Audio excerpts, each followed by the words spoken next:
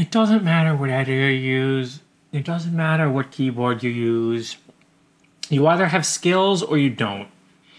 You could give me a Dvorak keyboard and the shittiest, most broken Emacs, and I will still code better than you. Because it doesn't have to do with those things. And everyone who focuses on those things is a noob. And by you, I don't mean you, all of you. I mean everybody who's asking about keyboards and editors.